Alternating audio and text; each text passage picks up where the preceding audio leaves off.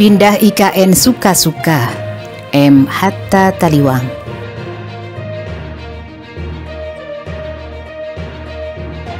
Dari sekian banyak persoalan bangsa negara yang kita bahas di grup WhatsApp, hemat kami memang hulu masalahnya ada di konstitusi.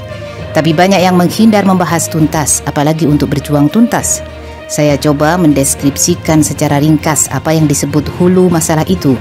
Konstitusi atau Undang-Undang Dasar 2002, hasil amandemen Undang-Undang Dasar 1945, implikasinya adalah Pertama, hilangnya kedaulatan rakyat dan negara karena MPR dikerdilkan dan tanpa GBHN.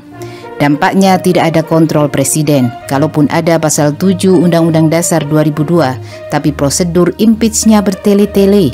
Pindah IKN suka-suka, numpuk hutang suka-suka, prioritas program suka-suka, infrastruktur jadi primadona. Duitnya dari mana? Ngutang semua.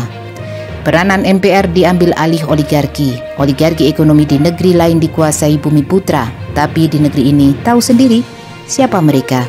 Jadi yang real mengatur negara ini siapa? Sudah tahu kan? Itu salah satu paradoks Indonesia. Ini juga jadi bahan debat berkepanjangan di grup diskusi. Kedua, Pilpres langsung super liberal melahirkan presiden boneka oligarki sudah kita analisis panjang lebar, dipilih oleh rakyat memilih 37% di Pilpres 2014, tapi perilaku seolah raja. Biayanya luar biasa mahal, hasilnya luar biasa ngeri, mengangkat dan menentukan pembantunya sesuai kepentingan pemodal.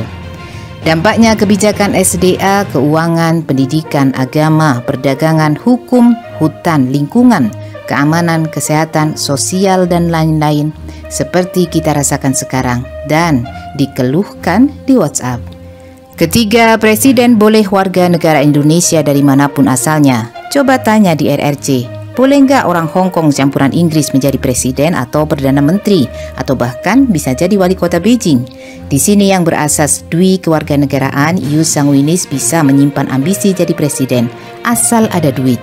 Keempat, Undang-Undang Dasar 1945 hasil amandemen pasal 33 dengan asas efisiensi melegalisir semua puluhan undang-undang liberal orderan IMF atau Bank Dunia yang disahkan di era pemerintahan Habibie dan undang-undang yang lahir kemudian di era reformasi.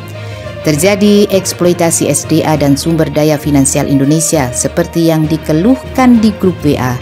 Demikian juga soal utang yang makin menumpuk. Kira-kira itulah hulu masalahnya. Masalah konstitusi hasil amandemen Undang-Undang Dasar 1945. Tapi sekadar penyalur emosi, kejengkelan dan kemarahan terpaksa disalurkan lewat grup WA dengan caci maki masalah hilir-hilir. Sebagian besar tak bisa diajak menuntaskan hulu masalahnya.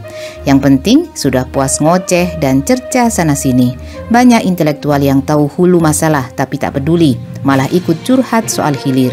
Selama konstitusi Undang-Undang Dasar hasil amandemen tidak dievaluasi secara kritis dan dicari solusinya, maka masalah-masalah bangsa dan negara ini akan semakin menumpuk. Tidak terbayangkan Indonesia ke depan akan seperti apa.